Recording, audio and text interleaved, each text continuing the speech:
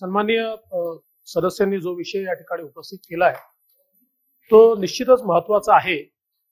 कारण आता ही जी पहिली घटना आहे त्या पहिल्या घटनेमध्ये वर्गातल्याच विद्यार्थ्यांनी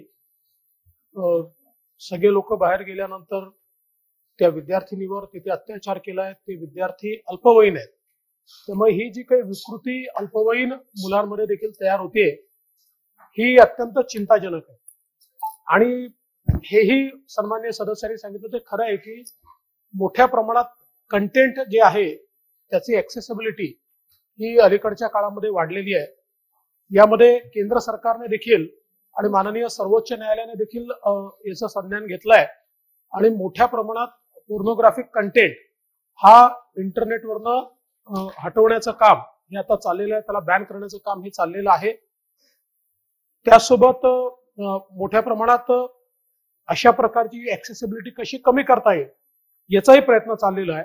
मात्र तरी देखील आपल्याला यामध्ये अजून कारवाई करण्याची आवश्यकता आहे. म्हणून महाराष्ट्रामध्ये देखील आपण मोठ्या प्रमाणात सायबर लॅब्स तयार केलेले आहेत आणि आता एक मोठा सायबर प्रोजेक्ट आपण तयार करतो की ज्यातनं आपल्याला विशेषतः अशा कंटेंटवर कुठेतरी अ, आपला वचक हा ठेवता येईल.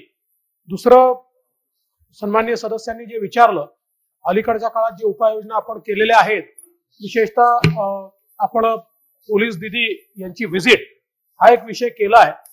अर्थात तो काही शंभर टक्के होतो असं मी त्याचा क्लेम करणार नाही. पण हळूहळू ते आपण वाढवतोय आणि मोठ्या प्रमाणात शाळांमध्ये आता जाऊन त्यांनी त्या ठिकाणी जाणीव जागृती करणं त्याचप्रमाणे स्वयंसेवी संस्थांची मदत घेऊनही गुड टच बॅड टचच्या संदर्भातलं प्रशिक्षण हे मोठ्या प्रमाणात देणं आता आपण सुरू केलेलं आहे. तथापि याच्यामध्ये आपल्याला थोडी वाढ जी आहे ती निश्चितपणे करावी लागेल.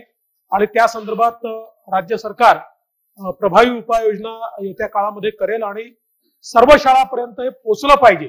या संदर्भातली देखील व्यवस्था ही आम्ही निश्चितपणे उभी करू. आणि मला देखील असं वाटतं की आपण काही उपाययोजना करतोय पण त्या अपूर्ण आहेत त्या पूर्ण नाही आहेत.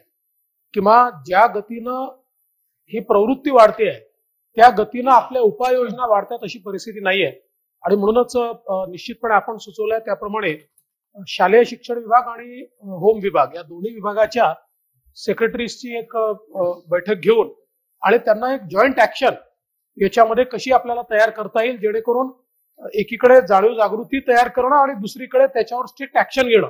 अशा दोन्ही गोष्टी कशा करता येतील या संदर्भातल्या सूचना दिल्या जातील आणि त्यातनं एक बृहत कार्यक्रमच या संदर्भातला तयार करण्याच्या सूचना दिल्या मी जी सूचना केली आहे ती अतिशय चांगली सूचना मला वाटते की सीसीटीव्हीच्या संदर्भातली तर जरूर टप्प्याटप्प्यानं शाळांमध्ये कारण आता ज्या श्रीमंत शाळा आहेत तिथे तर सीसीटीव्ही आहेत.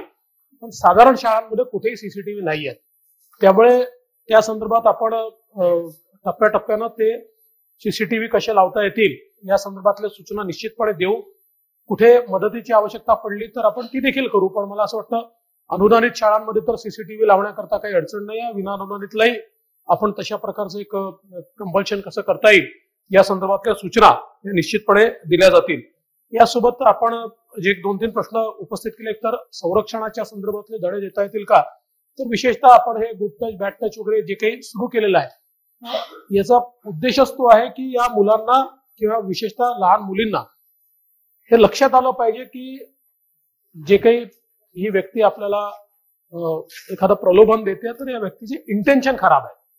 तर शेवटी एक आपण नेहमी म्हणतो सिक्स सेन्स असतो. तो थोडा डेव्हलप जर केला तर तो उपजत त्यातनं म्हणजे मला असं वाटतं की थोडं अशा प्रकारचे गुन्हे आपल्याला टाळता येतील. तर तोही विषय निश्चितपणे आपण या ठिकाणी करू. एक आपण कॅफेटेरियाच्या संदर्भात सांगितलं. आपण आता जे दरेकर साहेबांनी देखील सांगितलं तर एक पॉलिसी याच्यामध्ये तयार करायचा प्रयत्न करू. शाळेच्या आत आणि त्याच्या बाहेरच्या परिसरामध्ये जी काही इकोसिस्टीम तयार झाली आहे ती योग्य आहे की नाही याच्याकडे लक्ष कसं देता येईल याकरता काही ना काही व्यवस्था.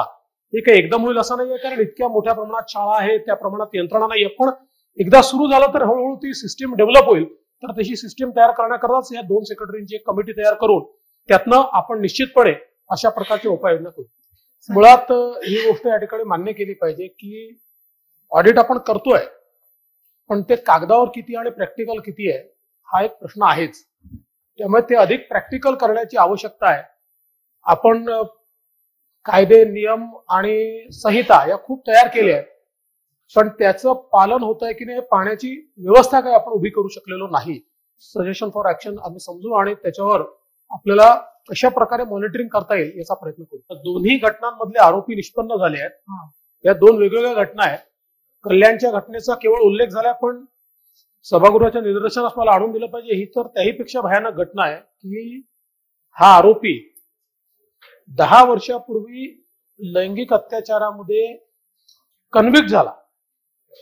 दहा वर्षाची सजा पूर्ण भोगून बाहेर आला आणि बाहेर आल्यानंतर दुसऱ्या महिन्यामध्ये त्याने पुन्हा तीच घटना केली. त्यामुळे अशा ज्या विकृती आहेत यांना ठेचणं हे अत्यंत गरजेचं आहे. म्हणून आपण कॅम्पसच्या संदर्भात ज्या काही सूचना केलेल्या आहेत जरूर मी आपल्याकडनं प्राप्त करून घेईल आणि निश्चित त्याची कारवाई देखील आपण करू.